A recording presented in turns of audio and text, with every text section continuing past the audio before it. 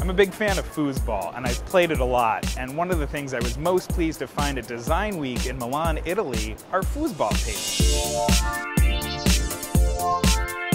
Now, these aren't your ordinary uh, foosball tables you find at a pub or a bar. They're not even competition tables like Rene Pierre's or Bonzini's. They're made by Teckell, and they're handcrafted in Italy by skilled artisans made from the finest materials. And they also cost around 10,000 euro and up. And that doesn't include shipping costs or anything like that if you want to export them to another country. So these are foosball tables for people who want the best of the best foosball tables and ones that are going to look nice in I don't know, your supremely furnished living room or game room in your basement that's encrusted in jewels. Whatever. They're amazing.